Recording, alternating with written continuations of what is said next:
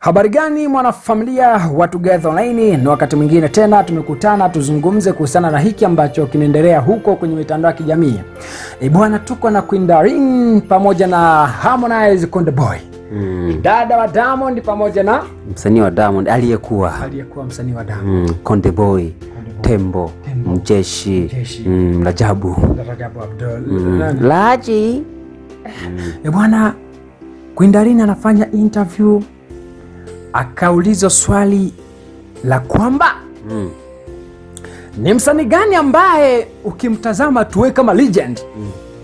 Ndio Queen Darleen ni kongwe sana kwenye game. kongo kwenye, kwenye game. Yaani Diamond kabla hata hajafikiria kwanza, huenda alikuwa anasoma hata form 2 au form 3 za, nani huyu hapa Queen alikuwa ameshaanza harakati za mziki? Yeye anaimba. Mm, yeye anaimba. Kwa sababu ukiangalia kwa mfano ile video ile yupo na King Kiba ya kitambo sana. Ile ni video ambayo mimi nakumbuka nikiwa bado niko chini kabisa huku kielimu, niko chini kabisa huku. Nikiongea chini manake nika form 6 hivi au chuo kikuu ni chini huku eh. Mm, kitambo sana. Kwa hiyo yeye huyo hapo nikasema tunaweza tukamweka kwenye marijeni kwa sababu ni mdada pia ambaye kaanza game kitambo.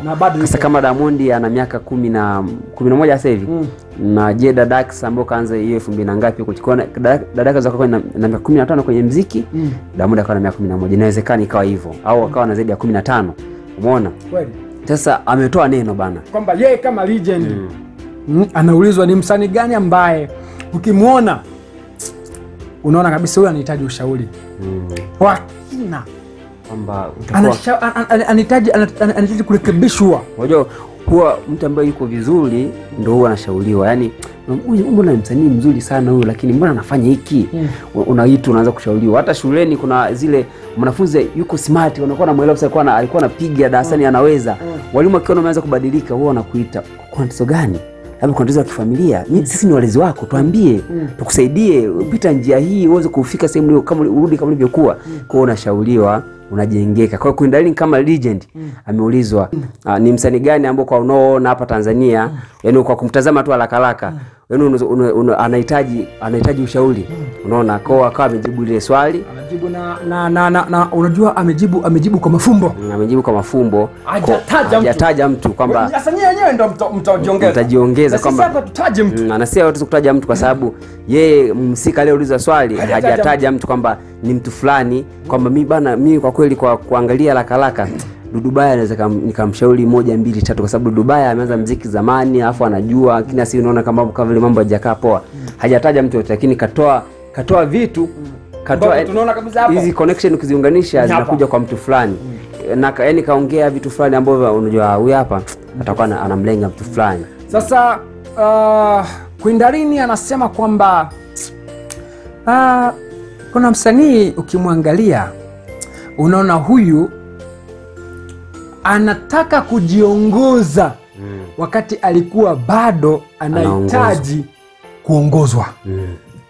yani unaona mtu an... anataka kujiongoza wakati bado alikuwa anahitaji kuendelea kuongozwa kuongozwa kwa mpaka anasema kwamba ukiangalia show zake Mm, ukiangalia interview zake mm. ukiangalia mameneja wake unaona huyu ni msanii ambaye bado alikuwa hahitajiki kujiongoza. Ya kwa manake ana, anatumia nguvu kubwa sana. Yani ku- kuonyesha, vitu vyake. unaona? Hasa ukiangalia kwamba ukianza kujiuliza haraka haraka msanii gani ambao alikuwa ana, ana, alikuwa ana, anaongozwa baadaye na yeye akawa akataka kuongoza.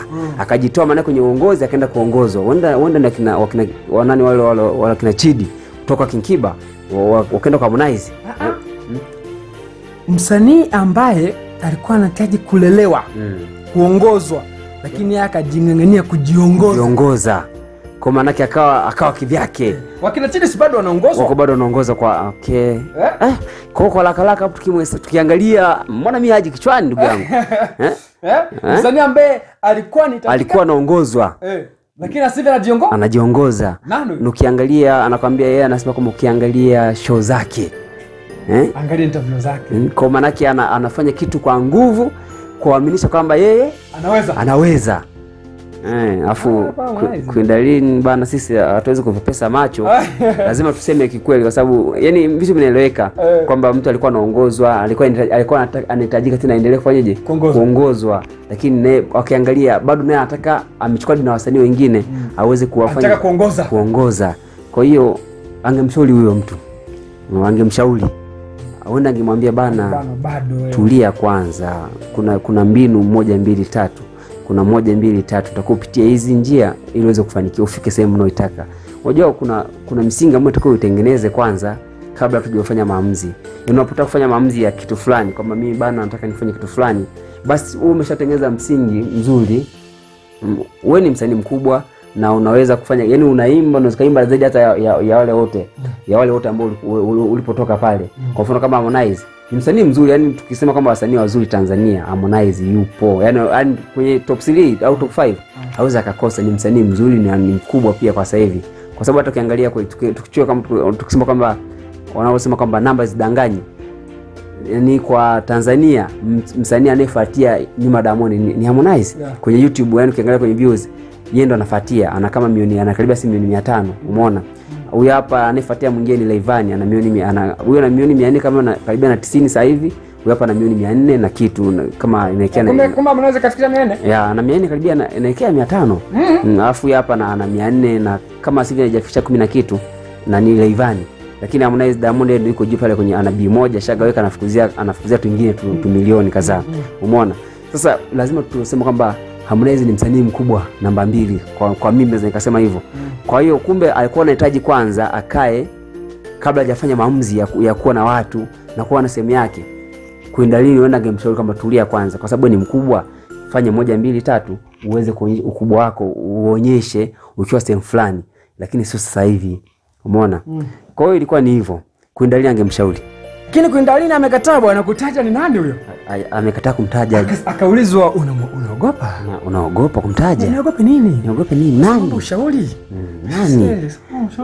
Nani? Simtaje nani? Lakini mtu watu umesha umeshataja mtu amesha alikuwa anatakiwa kuongozwa Wewe tupe tupe nanili tu. sisi tutajiongeza Ah, wenyewe mm, labda Soma tujui hata picha tuone. kweli jamani mm, kwao yeye kasha kaongea vya kwake sisi tumeshajua Mm. anamaanisha anamlenga nani Mm. kwao sisi tume- tumeshajiongeza wenyewe dada hata usiposema sisi tumeshajua ni nani uko namlenga mm.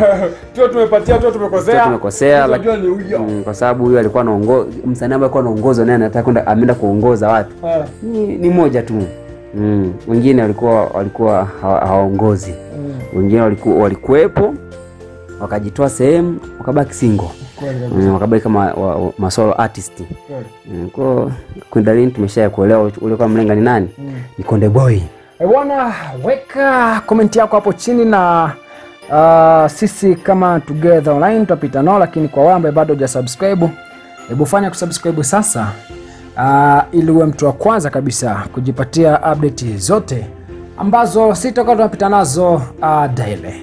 Chao.